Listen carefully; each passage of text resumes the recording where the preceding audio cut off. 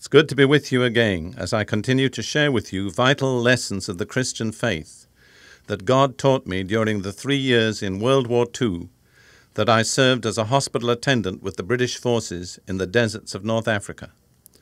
For almost this entire time, I had no opportunity to attend a church or listen to a preacher.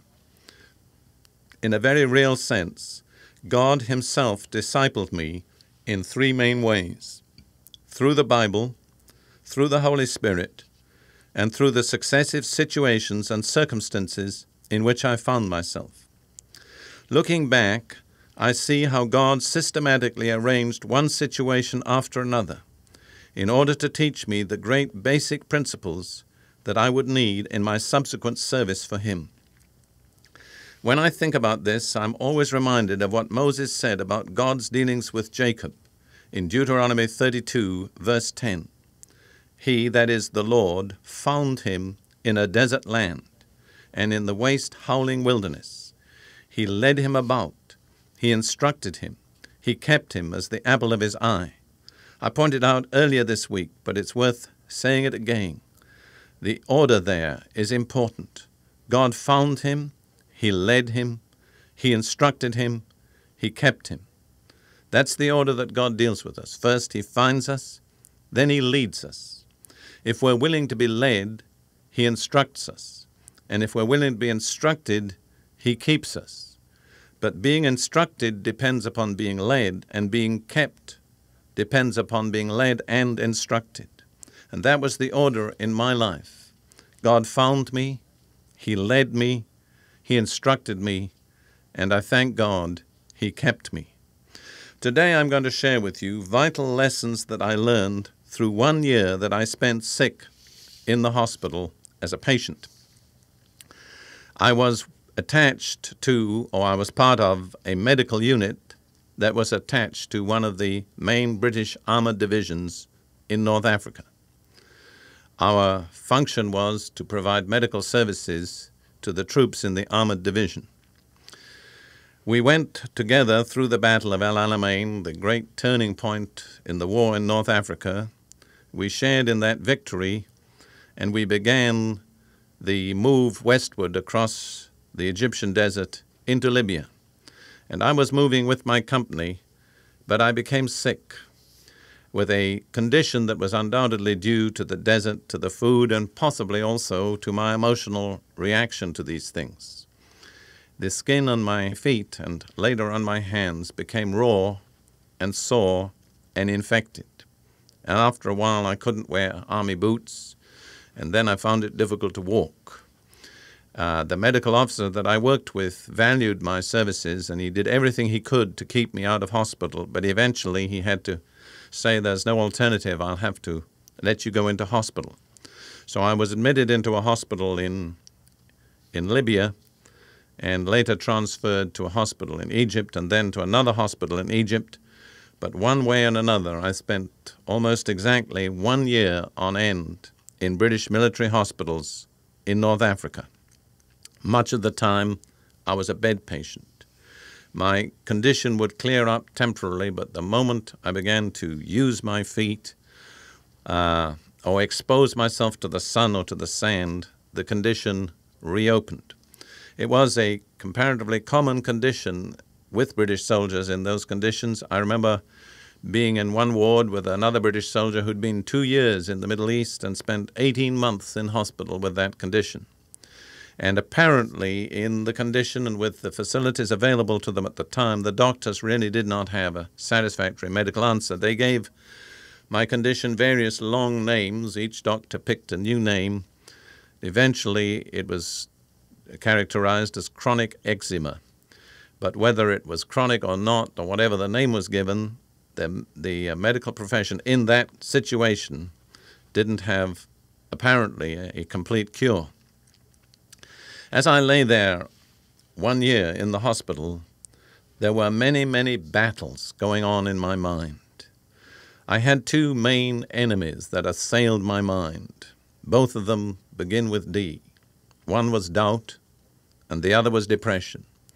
I'm sure that none of you have ever had problems with doubt or depression, or maybe you have. But I was a believer.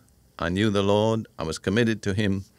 And yet I lay there having these raging battles in my mind against doubt and depression. Had God forgotten about me? Did He really care for me? Could He heal me? What was going to happen to me? And one of the things I said over and over again was, I know that if I had faith, God would heal me.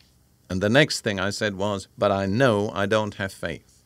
And every time I said, I don't have faith, I was right there in that dark, lonely valley of despair. And then God sent help to me through His Word, through one particular verse of Scripture Romans 10 17. So then faith cometh by hearing, and hearing by the Word of God. I'm quoting the King James Version, which was what I was reading. And I laid hold of two words faith cometh. They were like a ray of light in the darkness of that lonely valley. Faith comes. If you don't have it, you can get it. How does it come? I studied that verse over and over. Faith comes by hearing. Hearing what? God's Word. So if I wanted faith, if I needed faith, if faith was the answer, I could get it if I would hear God's Word. I knew God's Word was there in my hands. The Bible that I held before me, the Bible that I was looking at at that very moment. How could I get faith? by hearing what God was saying to me by His Holy Spirit through His Word. And I determined that's what I would do.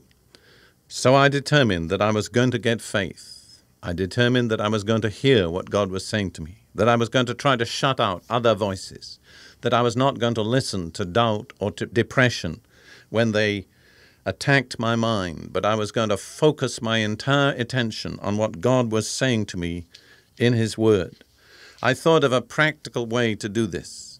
I armed myself with a blue pencil, and I decided I'd read through the entire Bible, and I would underline in blue certain particular themes. And I chose four related themes healing, health, physical strength, and long life. And so, in order to make myself focus on what God was saying to me about those four aspects of that total theme, I read through the Bible from beginning to end, underlining in blue everything that related to healing, health, physical strength, and long life. I think it took me about four months to get through the Bible that way. And afterwards, when I'd finished the Bible and looked back through it, you know what I had? I had a blue Bible. There was hardly a page anywhere in the Bible where I had not had to use my blue pencil. Interestingly enough, there were probably two books that contained the most blue pencil. I wonder if you can guess what they were. One was in the Old Testament, the other in the New. The Old Testament book was the book of Proverbs. The New Testament book was the Gospel of Matthew. But the whole Bible was just filled with passages underlined in blue. And I suddenly realized that healing is one of the major messages of the Bible, that God is a healer. I saw time and time again how God revealed himself to his people. Exodus 15:26 I am the Lord that healeth thee. I am the Lord your healer. Again and again God said to his people, if you'll obey me, if you'll keep my covenant and my statutes, I'll put none of these evil diseases upon you. I am the Lord that healeth thee. I read Psalm 103 Bless the Lord, O my soul. Forget not all his benefits, who forgiveth all thine iniquities, who healeth all thy diseases. Again and again, this theme of healing went through Matthew 8:17. Himself took our infirmities and bore our sicknesses, and with his stripes we are healed. That's the addition of 1 Peter 2:24. I saw that Jesus spent many, many hours of his ministry ministering to the sick, probably more time ministering to the sick than he spent actually preaching. And as I did this, my whole mental image of God underwent a radical change. I think I'd grown up with a kind of boyish image of God as a let me say it reverently, a rather irritable old man with a long beard somewhere a long way off in an office. And if you were in trouble, you had to go to his office. I think I pictured him like a kind of grumpy, unreasonable schoolmaster.